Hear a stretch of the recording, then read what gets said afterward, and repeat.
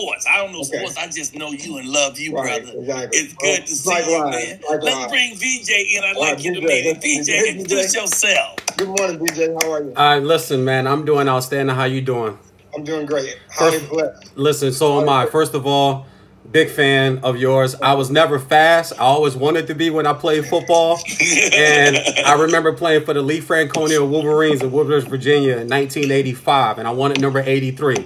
And my coach looked at me and said, Boy, you better take this 92 and get on that damn defensive line. You ain't no damn Willie Gault. I'm like, I want to be Willie Gault. He's like, You ain't fast enough to be Willie. You can see I'm a thick bro. I wasn't fast enough to be Willie Gault. Um, few questions for you. You, you. you played in such a legendary team, and I'm, I'm sure you've been asked the 85 Bears stuff so much. I do have one 85 Bears question I'll save for last, but I want to talk more about um, you were a world class athlete. A lot of people don't know a lot of this about you.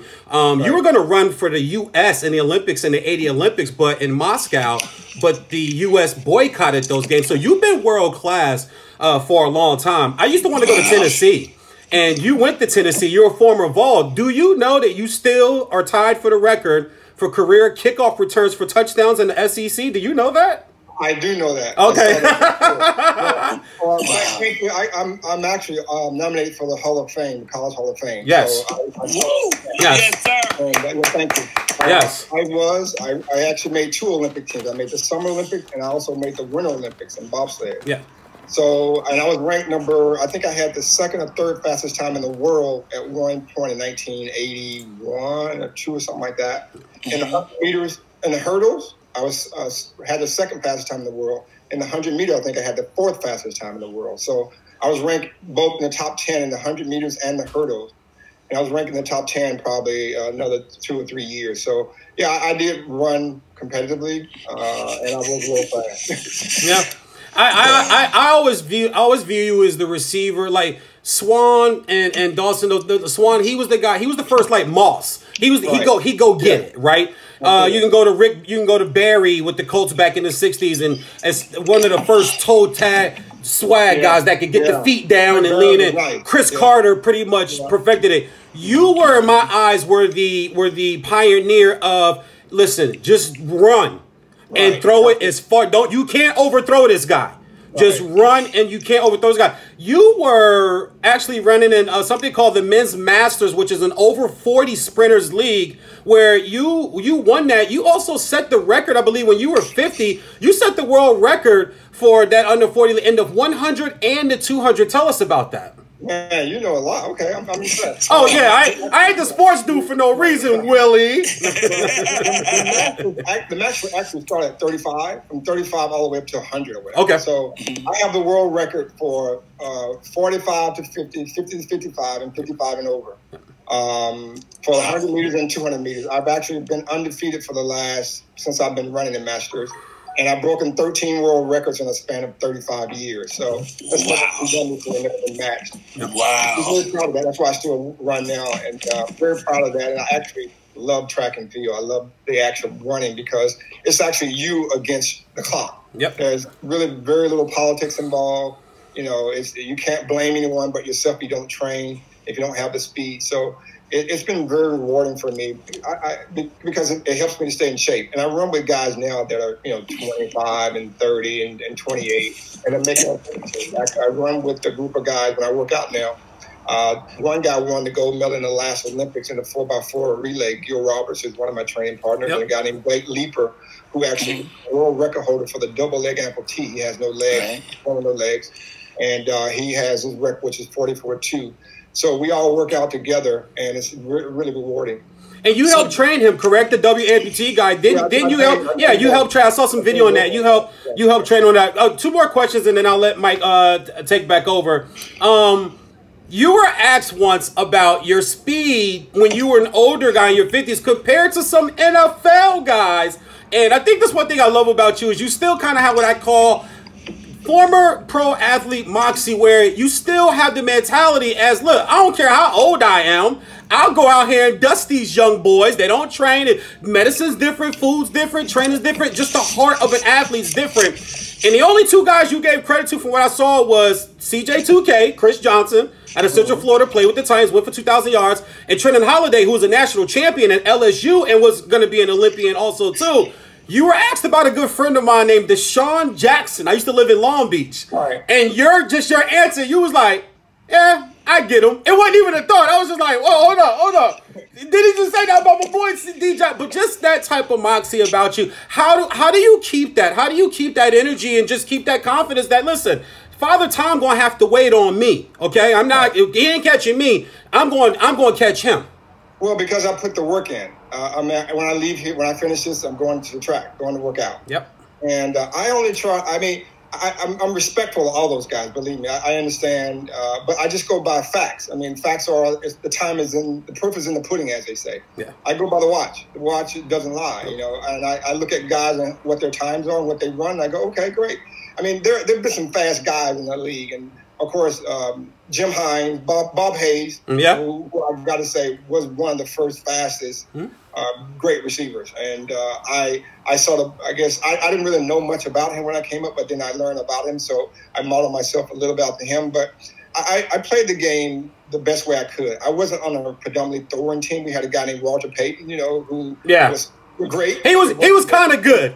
Actually, so, so our, our team was more of a, a balanced offense where I stretched it. I led the team every year for five years Mhm. uh, in receiving, but I stretched the defense out and I did my best. You know, I came in every day on time. I knew my plays. I made very few, if any, mistakes.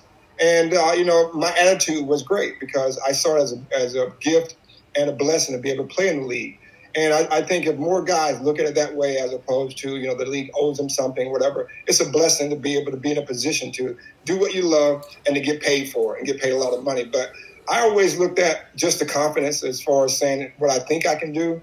And you know, if you don't believe in yourself, no one else is going to believe in you. Now, now DeSean is an amazing athlete. Yeah, of course. Uh, yeah. great guy. At the time, I think I could have beat him. Now, I'm not sure. Possibly, it'd be close. Yeah. But I wouldn't. I, I, I'd race anybody. I'd race Usain Bolt. I ain't. I'm not scared. Exactly. So, it's all good. Oh, yeah. here. Uh, I, to, got, I stepped off for a minute. I wasn't able to come back. I was just trying to Yeah. flag Chris, where you at? Bring me back. Okay, y'all saw what I did right there, right? Yeah, yeah, So yeah. I don't know the sports thing, so I let I know, I know. come in and ask you all the stuff. So now I'm back because I got to talk to you about stuff that's non-sports Right. stuff. If I can, I just got, I just got, just no, quick one more. Negro, you said two questions. I, I know this is the last, and this is the last one because I gotta ask him this, and trust me, he's gonna love this question. All right, go ahead, go ahead. Tell us uh, how in the world did the Jamie Lee Curtis picture happen? Oh wow. Okay. So that that picture caused problems back then.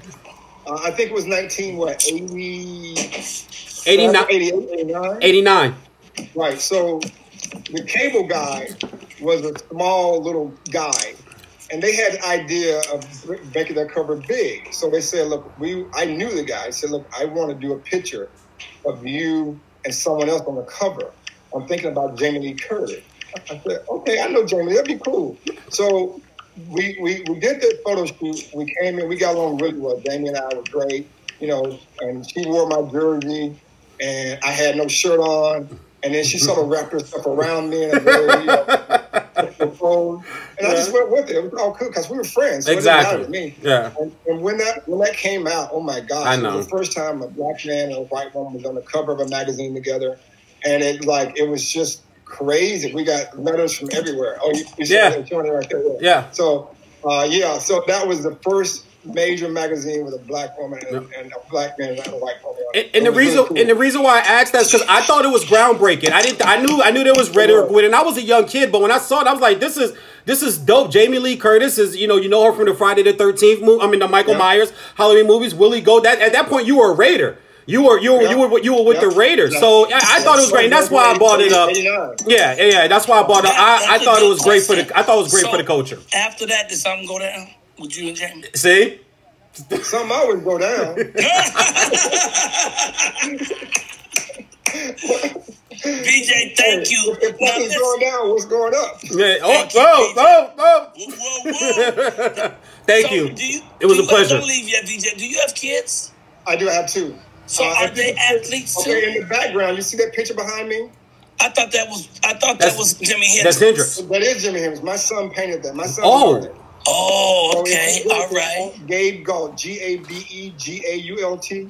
You'll see all his work. He's amazing. He just got commissioned from Ryan Reynolds to do five paintings. He just got a commission to do a, a big mural that's 135 foot tall, by 400 yards wide in Ohio. Uh, so he's doing really well. He's, he's great.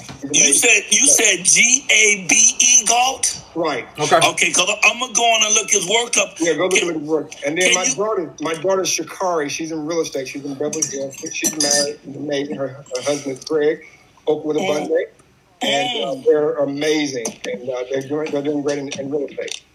Wow, I'm loving that. I was gonna ask Oh, for yeah. the athletes, but never mind. Yeah. Yeah, uh, they, they, I mean, my son played a little baseball. My daughter played a little basketball, but my son's like, I'm an artist. Will you hook me up with Gabe so I can bring him on my show and, and talk Oh, about his art? absolutely, for sure. He would love that. He's, yeah, Oh, he's great. put that when you, see, when you see his stuff, I, I think you'll be quite amazed. He actually did something for Madden, Madden, Madden 2021, Oh.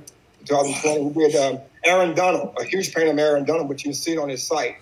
And Okay. he did a painting with uh, the Black Bull Rider. The Black Bull Rider, the, the guy I who love does it. top 10.